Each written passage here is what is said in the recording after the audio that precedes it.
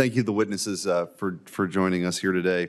Uh, My home state of Missouri has helped chart the path of human exploration. As the gateway to the West, Lewis and Clark set out from St. Charles, Missouri, at the confluence of the Missouri and Mississippi rivers to further our nation's westward expansion to the Pacific Ocean. Additionally, Marshfield, Missouri's native son, Edwin Hubble, proved that there were galaxies beyond the Milky Way offering new realms of discovery. America's drive for exploring the unknown has always been a unifying force for our country, and our nation has and always should be at the forefront of exploration, period.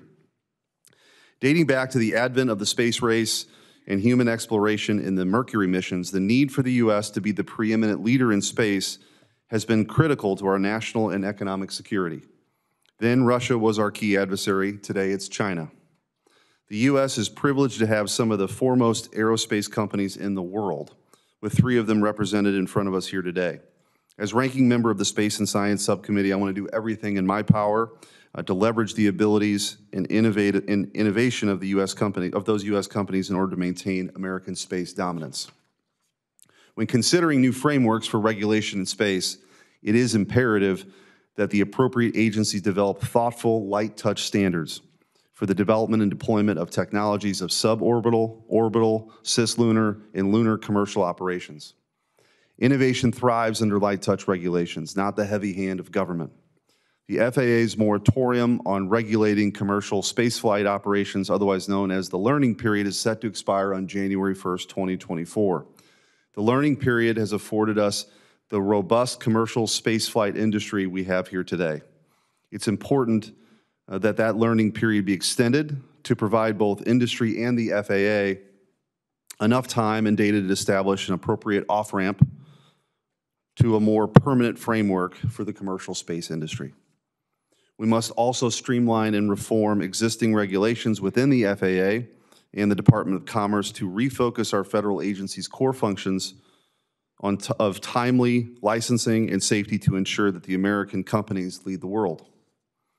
I have led efforts here in the Senate with my colleague Senator Hickenlooper to streamline the FCC's role in spectrum licensing for commercial space launch and reentry to provide a more certain and timely licensing process that keeps pace with the increased launch and reentry demands of the commercial space industry.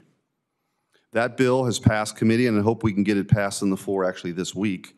I intend to take that same approach and an approach that emphasizes timely review and approval of licenses and certifications when it comes to the processes at the FAA and the Department of Commerce. Additionally, it's important that the larger commercial space industry has regulatory certainty and clarity to plan for the future to head off the larger threat of China and our adversaries in space.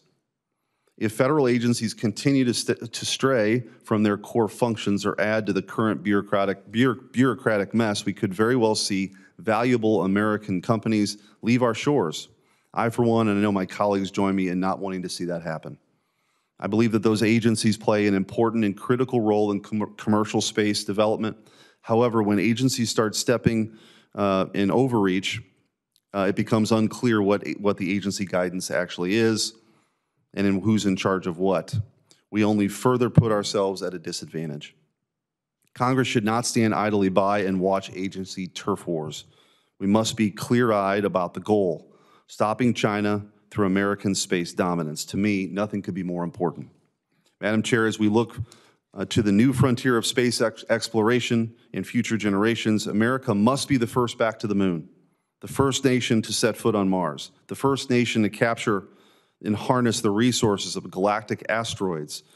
These goals are vital to the next stage of human curiosity. Our future generations depend on us to get this right. I look forward to hearing from the witnesses here today to ensure this committee develops a thoughtful and balanced approach to any future commercial space um, exploration bill or commercial space bill that promotes, not hinders, American industry. I yield back.